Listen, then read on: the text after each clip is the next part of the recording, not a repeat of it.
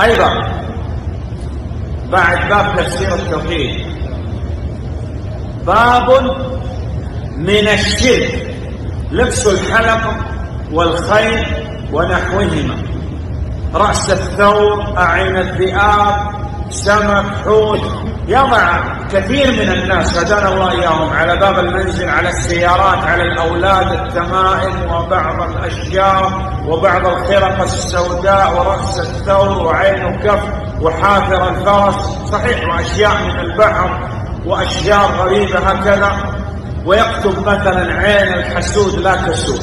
عيون الناس صابتني ورب العرش نجاني وكثير عندكم هناك يكتبوا على الركشة ويكتبوا على كذا لماذا تصنع هذه الأشياء؟ إذا تعتقد أنها هي التي تنفع تجلب المنافع تدفع المضار من دون الله شرك أكبر. تعتقد أنها أسباب فهذا شرك أصغر لأن الله سبحانه وتعالى جعلها أسباب. باب من الشرك الأكبر والأصغر. سبحان الله. الآن أقول إذا يعتقد إذا باب لم يقل الأكبر ولم يقل الأصغر. باب من الشرك الأكبر أو الأصغر بحسب الاعتقاد. إذا يعتقد تأثير بذاته هذا من الشرك الأكبر. يعتقد أنها أسبابا والله سبحانه وتعالى أسباب فهذا شرك أصغر. باب من الشرك لبس الحلقة. والآن انتشرت كثيرا عند كثير من الناس. يضع سبحان الله يعني على بدني وكذا والرسومات كأنه يعني لا يوجد عندنا ما يسميها الآن سبورة. لا يوجد سبورة فيرسم يبدأ الرسم على بعض الناس. نسأل الله العافية والسلامة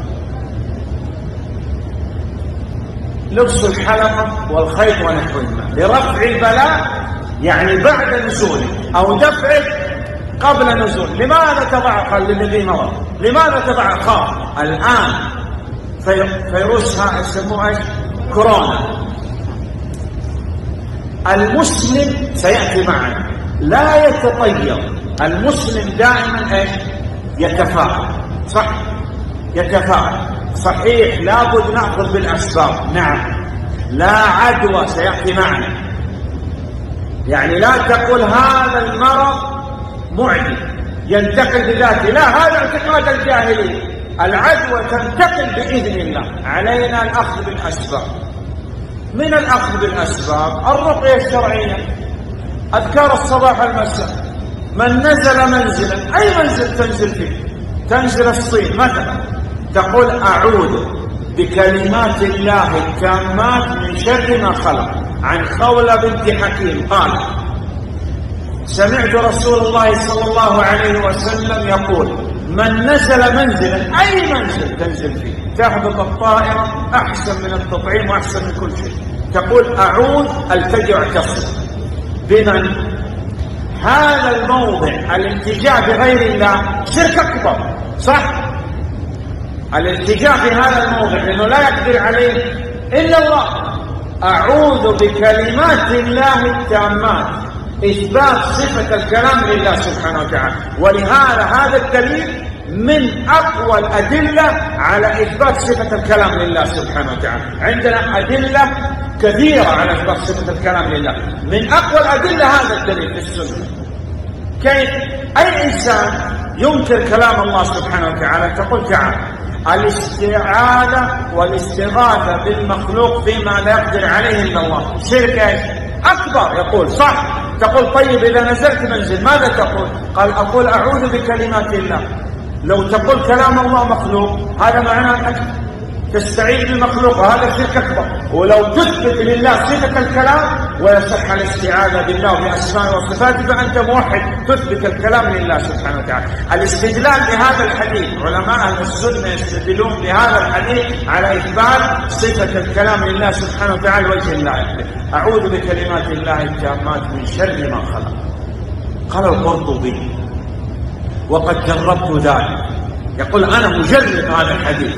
وقد جربت ذلك حتى أني دخلت يوما إلى منزلي ولم أقل فلدخلتني عقرب. يعني سنين يمشي على هذا لم يصبه شيء. طيب قال لنا هذا الشيخ قال لا أنا قلت الحديث ولدغتني عقرب. ماذا تقول؟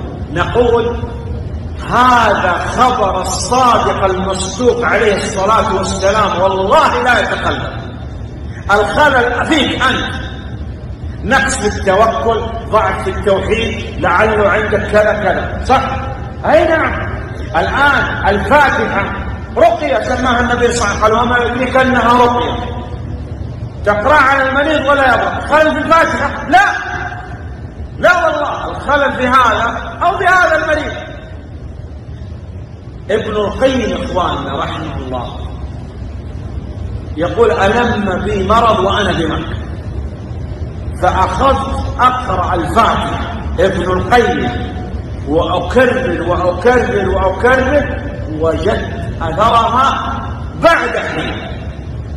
مفهوم؟ الخلل في من؟ ما يمكن يكون في الكتاب والسنة. ولا يمكن. نعم.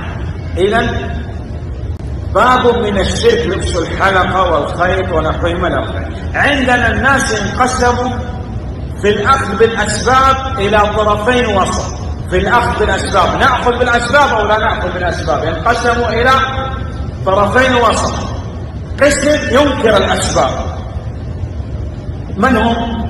جبرية جنون منك أن تسعى لرزقك قال مجنون أنت تسعى للرزق والله سبحانه وتعالى رزق الجنين في بطن أمه. هذا لا يأخذ بالأسباب. هذا طرف. الطرف الثاني يغلو في الأسباب. خرافيا كل شيء يقول تعتقد فيه ينفعك ويضرك من دون الله. أعوذ بالله. شرك أكبر ولهذا تجد كما يقول الشيخ ناصر رحمه الله تعالى يقول يلبس عمة كالبرج وجبة كالخرج والمسابح والخواتم والسلاسل وكذا. إيش هذا؟ يعتقد في الخاتم يعتقد في الثوب يعتقد في اللباس. وسيأتي الآن في باب التبرع الصحيح الوسط لا نثبت من الأسباب إلا ما أثبت الله سبحانه وتعالى. أو ثبت حسا. الدواء مثلا شرب العسل. نعم. الرقية الشرعية. نثبت ونعتقد أنه سبب لا يضر ولا ينفع. طيب. بعد هذا ذكر أيضا